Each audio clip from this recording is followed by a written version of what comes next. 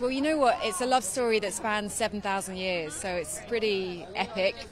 Uh, imagine being on and off, on off with someone for, for that length of time. You know, how do you play that? How, you know, when you've seen everything and kind of been through everything together already, where are you? So that was that was a fun thing to explore, and with my good friend as well, with with Richard. So, yeah.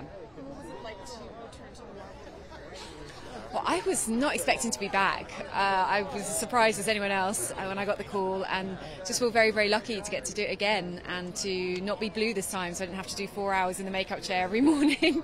so that was a bonus. But no, really thrilled, and thrilled to be in such good company, you know, amongst this incredible cast. So.